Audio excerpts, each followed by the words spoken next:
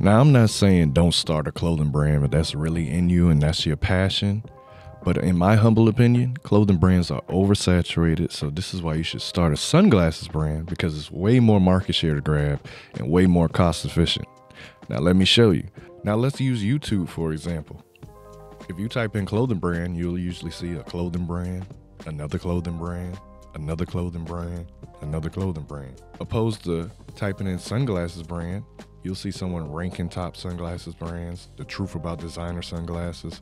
Finally, one person with a sunglasses brand. How I print sunglasses in a 3D printer. Is this night and day? so, my first point is longevity. Clothing trends seem to come and go, but sunglasses are always in style. You ever heard the phrase fashion comes back around? Well, sunglasses never leave and they stay around which means that sunglasses brands have a potential to have a longer shelf life than clothing brands, as sunglasses are a timeless accessory that people will continue to wear year after year.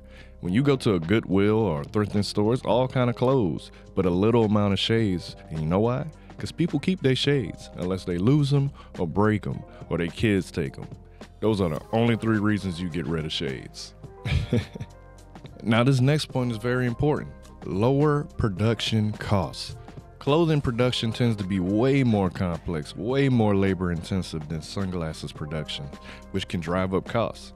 Sunglasses, on the other hand, tend to have a lower production cost, making it a more cost efficient option for aspiring fashion entrepreneurs.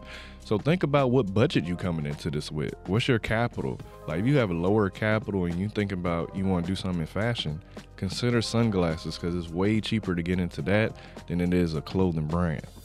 Next, easier inventory management. Now, don't sleep on this because you you don't you don't think about this before you start. You don't even think about this once you got started. Did I tell you stop doing that shit?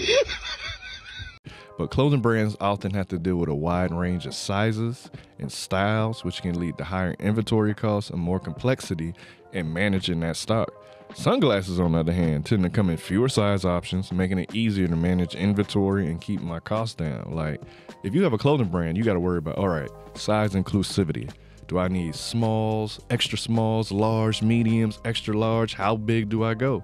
With sunglasses, of course, there's different face shapes, but we got different styles. We have wider frames, slicker frames, square frames. So I don't have to worry about, oh my God, I need to get these shades in a medium, a large, and a small it just don't work like that with sunglasses, which makes it way easier, way easier to manage inventory than it would be a clothing brand. Now let's talk about audience. Sunglasses are worn by people of all ages, races, genders, and styles, which means that sunglasses brands has the potential to reach a wider audience than a clothing brand that may be targeting a specific age group or style demographic. Like, for example, I may like wearing jeans with the holes in the knees and there's holes in it and it's distress, but my dad may not like that at all. He's a 60 something year old man, but he will like wearing these black shades that I also like wearing. So more people will wear a similar style of shades than they wear clothing. if that makes sense to you. Like, think about it. Like, you and your parents have a totally different style. You and your friends may have a totally different style.